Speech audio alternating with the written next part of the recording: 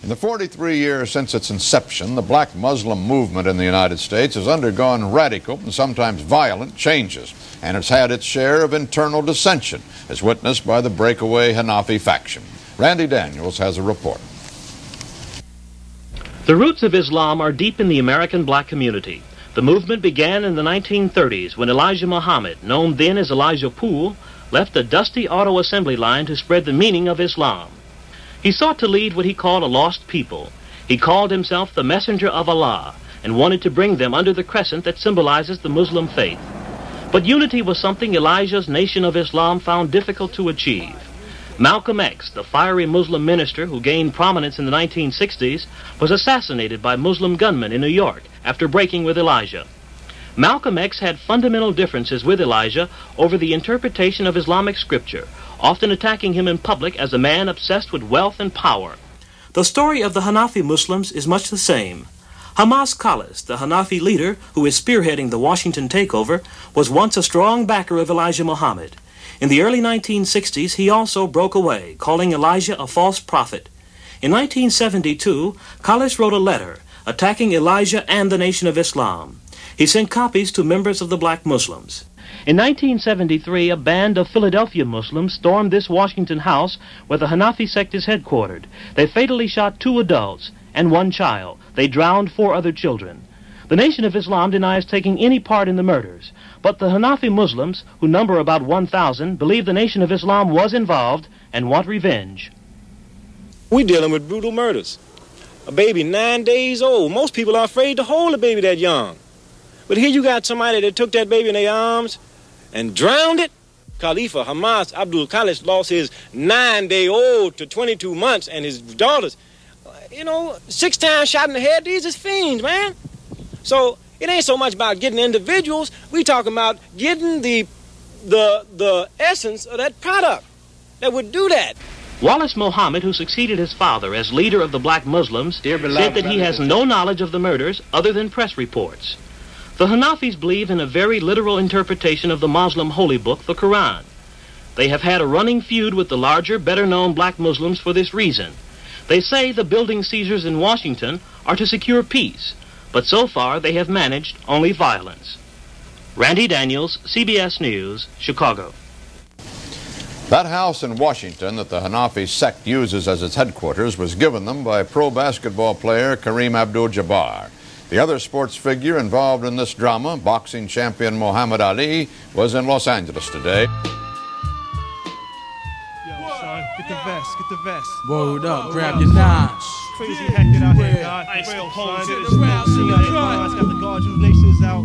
Fuck up. Blast that nigga hard. So real, Wow. like Yo, real, guys.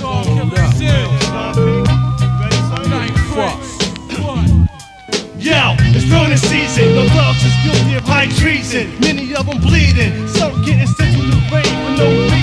On the streets, niggas kill without a license. As guards spill, we're so for real. Cause everything is real. Don't sleep on the average cat. He's Hey, yo, back nigga, still. I want the cash rolls, wasted in my hand, half a hundred grand. Ninja that pretender in the black land. Heard he be the crack man, selling major jumps by the pages, son. He the one sporting crazy tools, links away your ton. So here's the plan, get the clock, I got the ooh wop. Follow him for two blocks and pop him if he do cock his gap back. Better snap his snap back for that black. Pass the stacks to fat cat and find out where the cracks at. Phone out, make sure you keep your phone out so I can reach your shit quick. Get his whip stripped and take my own route for safety. Mistakes be for hasty. Maybe Jake should chase me, but never have the space to embrace me. Your fool's game, all the rules change. I never move the same, but who's to blame? My nigga Buddha came with the Ruger aim. Somebody scream, stop the balancer. This nigga had the silencer, spitting black talents and in the challenger. Yo, it wasn't ghetto Vietnam. I tried to flee and harm me and harm. My nigga Buddha caught about three in the arm. But one traveled to his abdomen. I grabbed him and embraced him. Had to see how bad this laced him. Yo, rapidly bleeding, started bleeding for his life. Take care of my seed and my wife. Make sure she's feeding him right. True indeed, black. I got your back. I hold it down. One real. May you rest in peace, son. I see you on the ground. it's burning season. Your thugs is guilty of high treason. Many of them bleeding.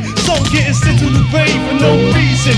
On the streets, niggas kill without a license. As scars build, it's so for real. Cause everything is real. No sleep on the average Yeah. cat. He's back in the Many times I fought the urge to resort to crime, but I find my criminal mind combined with the villain kind. I'm feeling nice till they overflow, going blow for blow with the rest. Cause them giant tests the best. It's a slug fest. Round one sounds wrong, I found one. Lurking in the back, loud clap them with my bounce on the cells drop. Old ladies out for the cops. Shorty shot shit, fell in the arms of his pops. I didn't mean to. Why he had to run in the way? Should've taught him how to duck when he heard a fucking gun spray. I say a prayer for the kid, keep stepping with my weapon cock. Wetting up the block, every section hot. The gas flash out while leaps and bounds. Now police and hounds making them grounds cause they're chasing me down. I'm all alone in this war zone. My brain torn of stress, thinking I'm blessed if I can make it home. Scared to death, can't catch my breath for bare left. Hit the wheeze and then rest to calm my chest. But an undercover had discovered my plot and plan. I shot the man, so I dropped my Glock and ran. Get the fuck out the way! Whoa! Whoa! Get the fuck out the way! Oh shit! Gotta get home. Oh shit! Oh shit! Yeah, I made a rally to a dark alley where I bump beds with crackhead Fred and this bitch named Sally. She had a down low lab for me to go to where I could relax and count stacks like I'm supposed to. Keep my whereabouts on the hush hush. I had to provide some heroin, high rules and five bags of dust. I didn't wet it but let it slide because I was petrified. If homicide got me, they gonna watch me die. Fuck that, I'm going all out, no half stepping. My last weapon is cocked to keep that ass jetting. I lay low for like five days or so. Put some troopers on the block round the clock to make me go. Yo, out of sight and out of mind be my motto. I promise myself that I'ma make it to see tomorrow. Yo, it's burning season, the thugs is guilty of high treason. Many of them bleeding, some getting sent to the grave for no reason. On the streets, niggas still without a license. That's God's bill, it's all for real. Cause everything is real. Don't sleep on the average cat, it's packing still.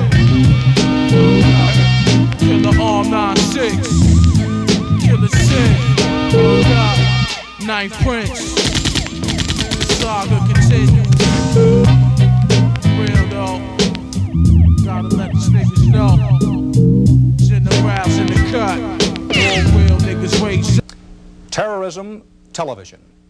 Each new episode of kidnapping or hijacking seems to reinforce that link, raising questions about the role of the media in these nerve-wracking incidents.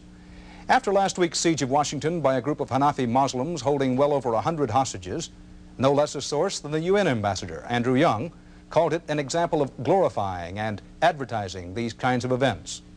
Newsmen call it covering the story. But when violent people are playing to the camera, there's no question that the medium itself can become a kind of hostage, and the reporter has to dodge and struggle to keep from being captured and used. That was the spot a Washington newsman named Max Robinson found himself in last week. As anchorman at television station WTOP, he was in the middle of that story that held the country's attention. It was an act of terrorism so broad, so bizarre, so many lives at stake, that it brought the nation's capital to a standstill. After the murder of one man and the wounding of many others, the terrorists held three buildings and 134 hostages at gunpoint. Police vainly tried to set up some channel of communication with them. But this is an age of media consciousness, of politics by public terror, and the terrorists insisted on an audience for their negotiations. The only channel they would accept was the media. The man they wanted to communicate through was Max Robinson. For the last two years, the face and voice of WTOP's 6 and 11 p.m. newscasts, the broadcasts with the biggest local audience. The terrorists established a telephone dialogue with Robinson, who was the first to broadcast their demands. Among other things, that a new movie about the Prophet Muhammad be banned because they found it offensive. But once the film is removed from this country, once you are asking that those responsible for the deaths or who killed your children be brought to the B'nai B'rith building. And the ones that killed Malcolm. And the ones that killed Malcolm. That's right. I want them. And you're asking for the $750. I want them. And the $750. And be sure you make on the radio that I've turned down millions of dollars, so it's not the 750, but this dog-ass Judge Braman, he hold me in contempt of court because I charged the murderers that murder my babies. Now, what do you think about that? And you think I'm going to roll over and play dead? What do you think I am? Some kind of jokester? I take my face serious. At 37, Robinson is a 12-year veteran of the news business. A college dropout, an Air Force man who went home to Virginia and started pounding on newsroom doors, unsuccessfully, until things started opening up for blacks in Washington. As a TV reporter around town, he had covered some big local stories, some other Muslim stories. His professional judgment, he says, had never been so critically tested. When I had one, had to sell that. You think I went through all that as a joke, Max? Do you? I understand what you're All saying. then. After very the, you have made faith. those, you have made What made about the, those sharpshooters, uh, brother? Uh, they may have moved them somewhere else. Keep stacking, boys. Keep stacking, boys. Move it faster. Make them move faster, Latif. Work them. Hamaas, Yes, you talked to Police Chief Cullinane a few moments ago. yes. What were your demands of him? Same thing, Max. I'm through. All right? Been talking all day. Okay? Thank you, sir. All right. in terms of understanding what you're covering, in terms of the sensitivity of what you're covering, you're talking about emotional sensitivity. It's a little different from sensitivity for facts. You can get the facts. Uh, all of us get the facts. That's a very important part of the business. In my struggle to be a good journalist, I have no fear of having that kind of sensitivity. But I recognize that the danger is that you can go overboard and become a participant, become an advocate. Uh, I think the only reason that I have been called a participant or that I was involved or in the middle, as has been said, and many expressions have been used, was simply because I got it first and I got an understanding of it. That's all. If we have to air, 15, ready voiceover from over. By his direct contact on the air with the kidnappers, Robinson was already walking a thin line between reporter and messenger, between observer and participant. Now, a telephone call he was about to receive could push him over the line and into the story he was covering. Ready? Hello? Open sunny. Hello? Hi. This is Max Robinson. Mark, please. Yes? What did I say? What did I say? Tell her to call her on 61. I said that. We will. I said that Tell on the air. Call us on 6136 as she uh, talks to us. You got a lot of time in sports. Let Max do this, let Gordon do the What did I say about Malcolm? Hi, can I? Uh, Would you tell me what I said? I can't. How can I straighten it up if you don't tell me what it was? Uh, they're going to kidnap me. What? Gordon on the phone. I'm going to be kidnapped by the Anonymous. Let me have Gordon on the phone. Let's get back to work.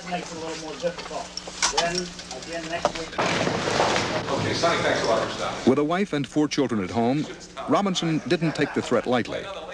But it didn't change his approach to the story. He went back to his anchor position without visibly missing a beat. Gordon Barnes, we've had uh, pretty good weather for the past week or, or so, or the past four or five days. Today wasn't uh, the, Yeah, it wasn't the as good as I expected. We have some high clouds this afternoon. which is beginning of the weekend. Although the audience remained unaware of the threat, news director Jim Snyder and his staff were concerned. They felt this was not just another crank call. The guy sounds like he might be one of those folks. They've taken three buildings. It would not be too difficult for them to take me, I would assume. You know, you take three buildings, you can sure take a little reporter. And they say they're going to take me, meaning kidnap. Now, what have we done in terms of dealing with uh, making that a little more difficult than it is right now? I'm telling you that he sounds like some of the Hanafis that I've run across. More than I have. Well, we have security here in the building. You can stay here in the You building. mean our regular security? Holy hell, that's awesome. Not here in the middle of the afternoon. we do have uh, about three uniformed policemen downstairs. Have you informed the police? And indeed, two district policemen were brought in for Robinson's round-the-clock protection until the announcement that the hostages were finally released. The ordeal of the entire city has ended. The ordeal of the hostages, the ordeal of those people who worked long hours. In fact, all of the people, the officials who were involved for the past 39 hours in dealing with a situation the likes of which the nation's capital has never seen before. This story's not over, but certainly the, the dramatic part, the part that held this town on edge for 39, 40 some hours, that part is over. Uh, you can feel the relief, you can feel a sigh in, in the nation's capital uh, this morning. All of us feel. it. I think journalists are the last to feel it. Last week in Washington, it was Max Robinson. Next week, it could be, as Walter Cronkite talked about in an interview, some other reporter, anywhere. Since the terrorists seem to be getting better at handling us, are we getting any better at handling them? Well, I don't know that we are. I suppose uh, experience always counts for something, so maybe we are getting better. I don't know really, though, what we could or should do about this. Uh, Dan, it seems to me that we cannot control the events that need to be reported. All we can do is be responsible in reporting the events that occur. Do you think it's fair criticism to say that we provoked the terrorists? I think that it's something that is, is within the range of possibility. I don't think it can be dismissed quickly, but I don't see where that uh, really uh, counts on how we handle the story. I don't think we can suppress stories like this. What about Ambassador Andrew Young Sunday said he wished, quote, there could be a law that would restrict the publication of information regarding violent crime. Now, could the First Amendment stand such a law? No, couldn't at all. In no way.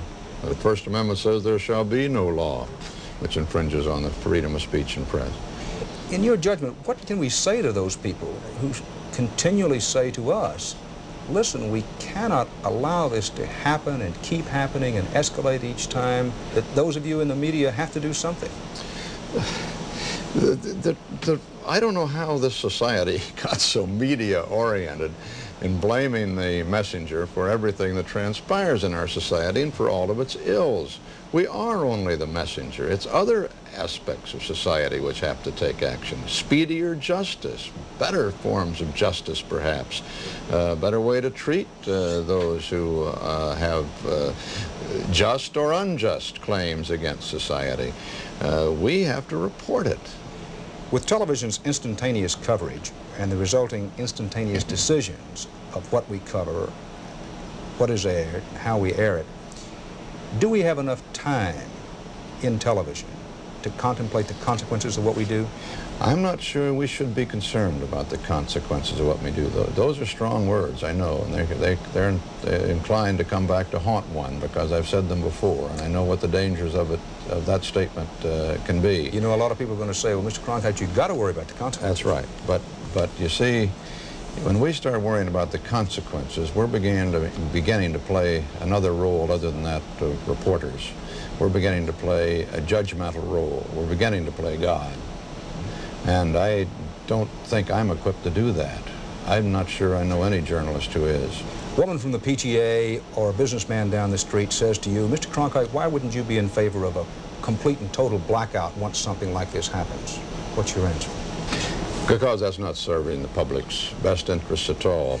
All that does is lead to rumor and speculation, to doubts that the press is telling the whole story under any circumstances, and that's the most important consideration of all.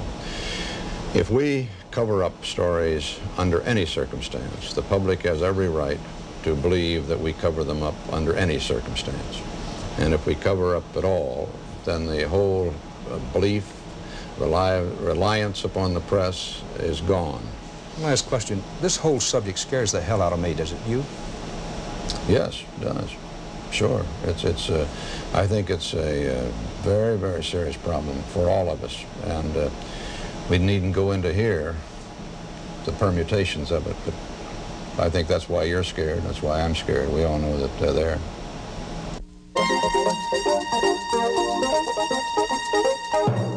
Forty years now since the Nafi siege, when terrorists attacked three buildings in the district.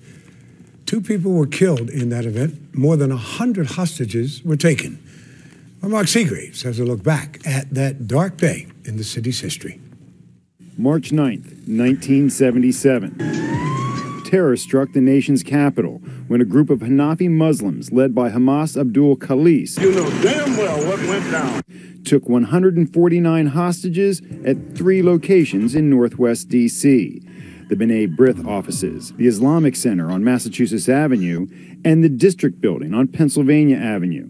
That's where then Councilmember Marion Barry was shot in the chest. Reporter Maurice Williams was shot and killed, and security guard Mack Cantrell was also shot. Cantrell died days later of a heart attack. And you could see very clearly through the openings, people were being beaten. Paul Green was one of those hostages. He spoke to News 4 in 2012. I was lying in my own pool of blood. Other colleagues had been shot, stabbed, and beaten. And at one point in the very beginning, 50 of us were piled on top of each other. And that's what started my day. The siege lasted nearly two days until a peaceful surrender was reached. Hello, I'm Jim Vance, and we're on the air right now because it is over. Maurice Cullinane was chief of police at the time. He led the negotiating team trying to convince the leader, Hamaas Abdul Khaalis, to free the hostages. I was yelling up and down the steps talking to Khaalis, but it wasn't making any sense. Both Cullinane and Mark Tuohey, who prosecuted the Hanafis, credit three foreign ambassadors with convincing Khaalis to surrender, something they think would be unlikely to happen in today's political climate. The notion of calling on those wonderful ambassadors from Pakistan and Egypt and Iran today in a situation like this is probably it's probably so unlikely as uh, as to be uh, fantasy. All 12 of the Hanafis were convicted. Khaalis died in prison in 2003. Shortly after being shot during those attacks, Marion Barry began organizing his first run for mayor from his hospital bed. In the district, Mark Segraves, News 4.